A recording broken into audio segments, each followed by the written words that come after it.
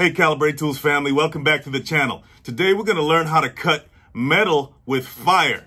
I pulled a guy named Jim out of retirement to show us how to use an oxyacetylene torch to do this. So stick around and I'll see you right after this.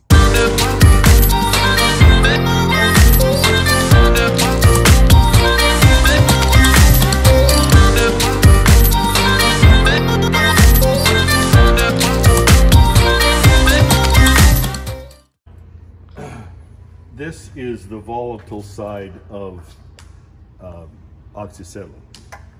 It's the, um, the propellant for the flame. So what you want to do is you do not want to open this all the way. You only want to open it up a quarter turn because if something happens, you blow a hole in your uh, hose or something breaks, you don't want to have to stand there and crank too much on your shut-off valve while it's burning the house down. So you only want like quarter of a turn. This, you open up all the way like um, your MIG bottles and TIG bottles, okay? Now, this gauge shows the pressure on the tank, just like this one does. This one's almost out. So what you do is for cutting, I was always taught 40, you pull the regulator up, this puts pressure to the hose. So I was always told to put 40 on here and six on the acetylene. So on the flow gauge is six, right? Yes. And the flow gauge is 40 here. Yes. Okay. And this is the acetylene Yes. and this is Oxygen. the oxygen. All right. Then uh, what you do is you try to keep both pair of glasses on while you're working in my case. Get your boxing gloves on. Am I cool right here or should I move, Jim? Uh, well, we'll see. How's that? I like that. Okay, After you up in flames. Yeah. this is the flame part. This is the acetylene. So what you do, you bring it just just before it comes off. When you bring this down, like this, leave this alone. Oh, and when you uh, have this on, you open this up all the way and use this as the on-off. This is the on, on and off valves here. So you turn this on, you light it, and then you get it adjusted, and then you pull this down. So it's just even with the end. And there's no no carburizing flame on it. So in other words, it's not like this. See that? Pull down there. Okay. Okay, now what we're gonna do, we're gonna come over here.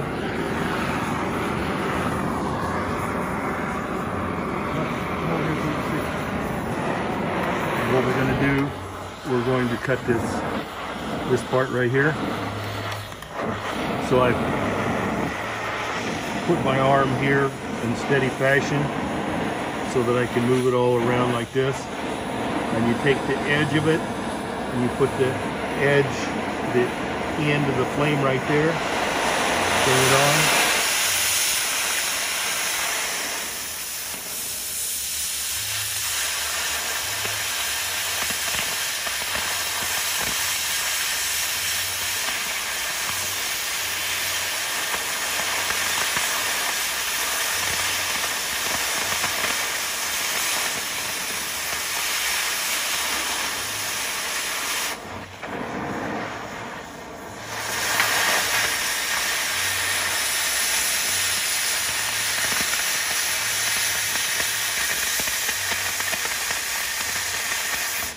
say that later.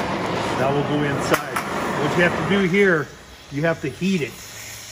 You have to heat it real good or else it'll pop back at you. And then there's even the chance it might. The metal.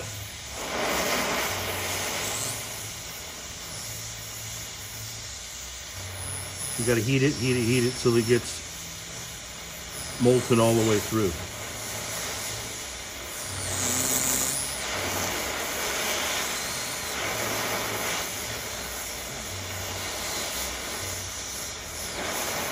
Okay, here we go.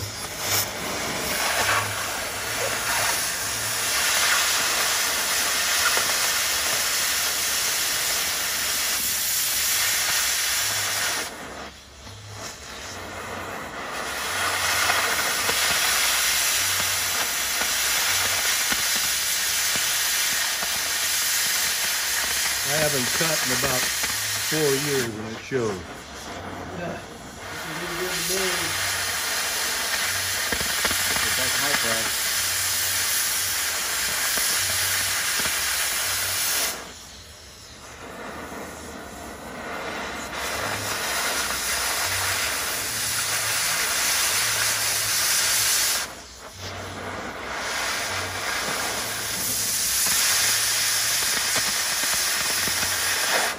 Now,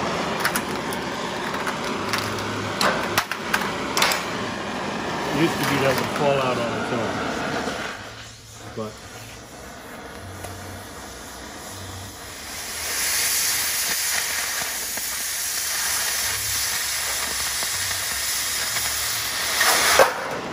we go.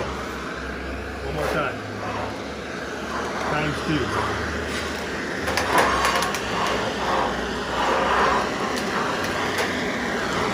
Okay, we're gonna do the same thing again. We're gonna round this off.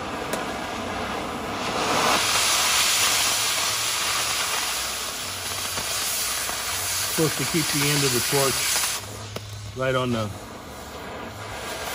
top of the plate, which I haven't been doing, but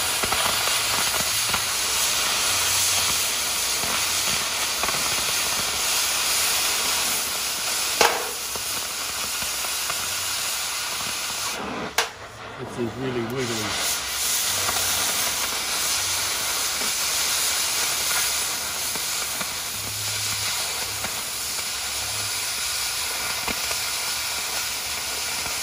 Biggest plate I ever cut was two inch. Put a bevel on. Then I had to weld it all up.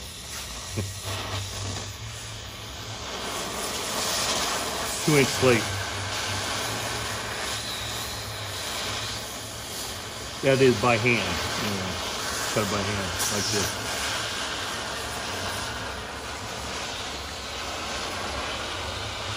Now the rocking back and forth is just to get a I'm, wider I'm just, yes, I'm, I'm not rocking back and forth. I'm circle. circling, yes. Yeah, Yes. just to get a Here we go. base. yes.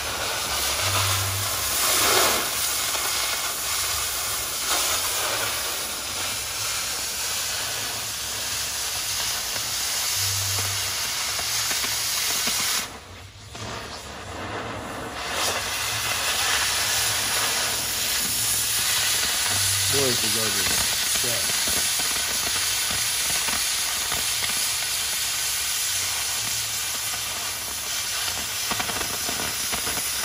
I can't even stay in the color drawing. Feel like a first grader.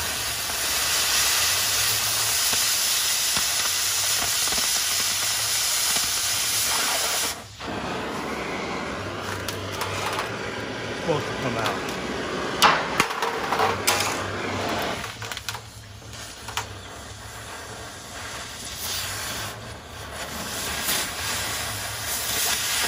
So see that? That was slag that I blew into. See how it blew out the end, end of it right here? Yeah. See that? See how it blew out? Slag. Yeah.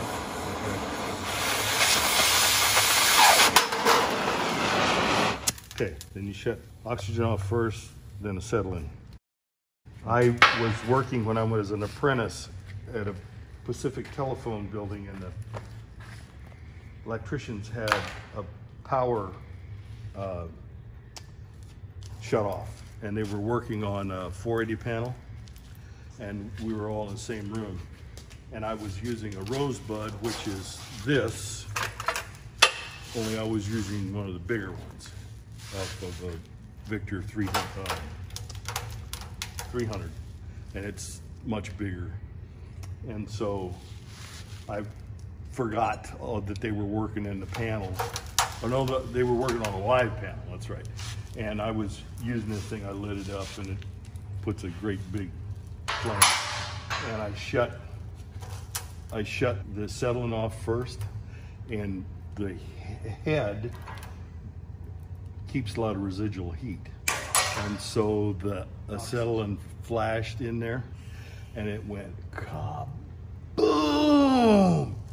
Those electricians jumped about 10 feet back. I'm telling you, they did everything but kick my, they were so pissed. And rightly so. I mean, what, you thought you were dead, right? Okay, so to shut this down, uh, you don't want to leave pressure on your regulators because it, there's a diaphragm in here and it'll screw it up.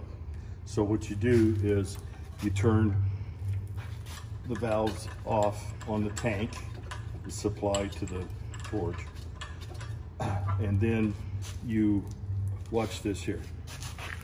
You open the acetylene valve, that side comes down, okay? The, uh, the pressure side to the torch. Same thing here. Turn on the oxygen. Okay. This one was, yeah. They'll both come down at the same time if you have this in.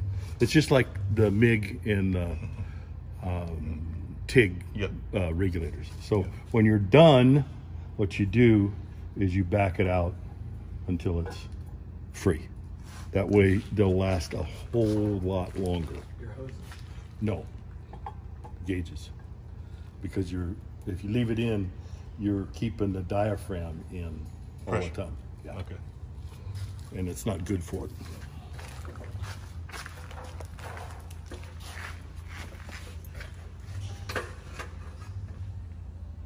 Okay, guys, so that's how you cut metal with an oxyacetylene setup. But you can do other things like welding and brazing as well. So stick around for more of that content in the future. Hey guys, if you like the video, hit the like and subscribe button, share it with everybody you know, and I'll see you in the next one.